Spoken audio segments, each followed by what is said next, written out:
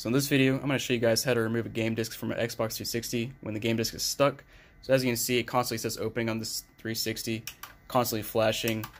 I press this, it'll try to open and close, and it does nothing. So the right way to fix this would be to open up your 360 and actually clean out the insides and get all the gears working. Uh, but this is the lazy man's way. Alright, so basically you just want to press this, make sure it's actually opening, and just hit the top of your 360.